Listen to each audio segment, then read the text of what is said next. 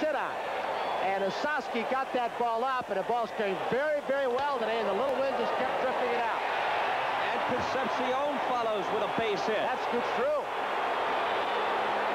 He's going to make it all the way to third base.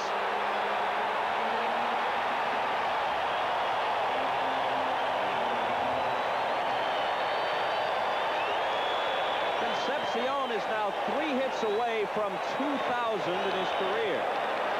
Teammate Cesar Cedeno passed the same milestone earlier this season, so they each have less than half as many hits as their manager. Two shortstops in the National League who've been the two principal ones in this league for more years than, of course, Ozzie Smith.